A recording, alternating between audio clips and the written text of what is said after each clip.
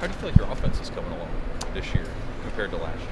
Uh, you know, better for sure. Um, you know, just just got to be confident to play. Um, not try to do too much, and you know, just try to um, catch barrels and do my job. You know.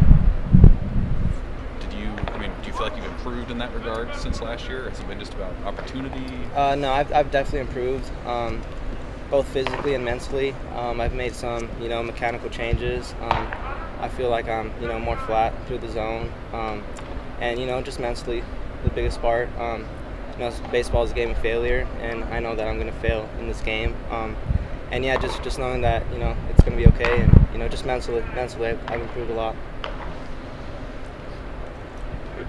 I know last year you guys were a little bit more aggressive, I guess, with the, the opportunities on the base paths, and run, that kind of stuff. I mean, what, what what's kind of the key for you guys being able to get back to that? Um, you know, just just trusting the process. You know, um, you know, it's baseball. It hasn't been going our way, but it's going to turn around. Um, we have a great team here, and we're confident that it's going to get turned around. Um, I know every guy in the locker room believes that, and you know, it's, it's going to be fun to watch once it does.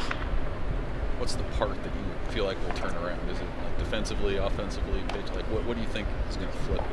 Um, you know, everything. Um, you know, we're a team. It's a team. It's a team sport. Um, you know, it's all going to turn around, um, and it's, it's going to be fun to watch. It's going to be fun to watch.